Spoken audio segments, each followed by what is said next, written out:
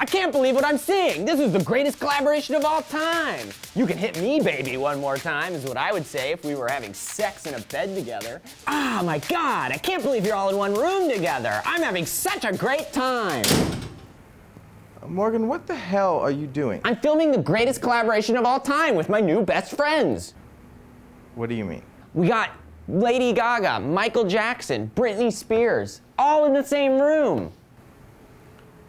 But you understand that that's not really them, right? In what way? In the way that that's not actually them. How do you mean?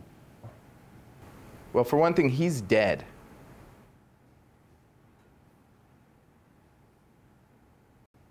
Look, he's alive. He's right there. I mean, barely, he's barely alive, but he's still alive. Look at him. I'm so sorry for my rude friend here. Who hired you so I can go rip that guy's off?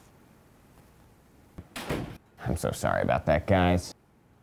So, should we get this orgy popping or what? I got a boner.